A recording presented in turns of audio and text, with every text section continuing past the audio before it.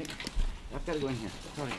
Yeah, I'm in here too. Yeah, no, but Can you clarify? You, you said he told you that he acted alone, Yes. but he has also spoken. He believes uh, in a revolution in the Western world. I don't want to say anything more about his manifest. He remained uh, calm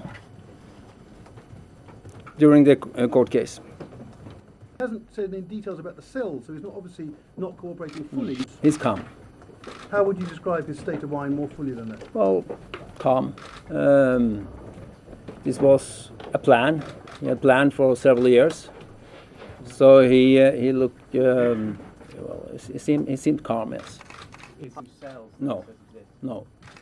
What was the uniform that you wanted to wear? I haven't seen that. He's undergoing no medical examination, and I will look into the the papers when they are ready. Has he shown any remorse or any regrets for what he did? He said it was necessary to start a war here in Europe and uh, throughout the Western world. So he's sorry that it was necessary, but it was necessary, he says. Was it from what you understand so far from the authorities' questioning and the knowledge? He's in a, his bubble. He's had no contact with family even? No, no, non-contact. Has the family requested to see him? The No. mother, for instance, the No. sister? No. It's too early for me to say anything about uh, the trial.